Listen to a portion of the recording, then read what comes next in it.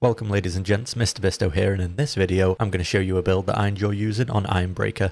As always, a link to the Ranalds.gift build website will be in the description. So without further ado, let's start by looking at Ironbreaker's career skill and passive abilities. As we go through, I will put a picture up of each of these on the screen. So first off, Ironbreaker's career skill is called Impenetrable. Bardin taunts all nearby man-sized enemies, gains increased defense and can block any attack for the next 10 seconds. Damage taken is reduced by 50% and block cost reduced to zero. The first passive for Ironbreaker is called Gromril Armor.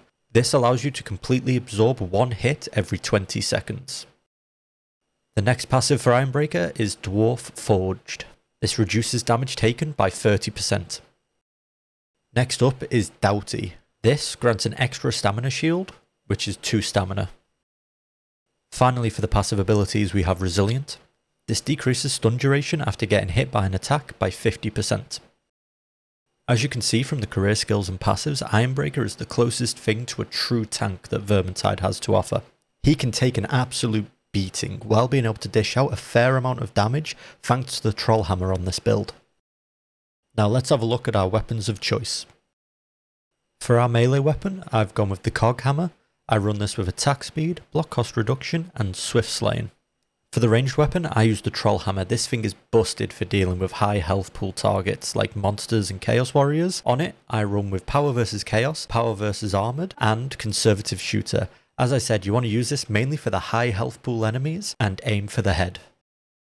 On the necklace, I'm using my usual plus 20% health, plus 30% block cost reduction and bark skin. On the charm, I have gone with power versus armoured and plus 5% attack speed and proxy. Finally, on the trinket, I'm using plus 30% stam recovery, plus 30% revive speed and grenadier. Yes, Grenadier can proc on your Trollhammer shots, so if you hit a headshot and are lucky enough to have the Grenadier proc at the same time, you can actually get two shots refunded to you, making the Trollhammer even stronger again. Also, I hardly ever run revive speed and people may class it as a meme choice, but I have got a lot of value out of clearing space with one shot of my Trollhammer and then getting the revive super fast in clutch situations. That does it for the equipment, now for the talents. On the level 5 talent line, I have gone with Rockbreaker, Staggering an enemy with a melee attack grants temporary health. Health gained is based on the strength of the stagger. For the level 10 talent, I use Blood of Grimnir. Each nearby ally increases power by 5%. For level 15, I'm using Smiter. The first enemy hit always counts as staggered. Deal 20% more damage to staggered enemies. Each hit against a staggered enemy adds another count of stagger. Bonus damage is increased to 40% against enemies afflicted by more than one stagger effect. Now I see a lot of questions relating to what the stagger talents do and what is best. Personally, for 99% of the time, I will use Smiter as it gives you 20% more damage towards the first target hit in that attack. And because I mainly play Cataclysm with Twitch mode on, Bosses and Chaos Warriors need to be dealt with quickly and efficiently, so having that little boost to single target damage can really make a difference. But it would take far too long to explain all of the stagger talents here, so I leave that for a later date and a later video.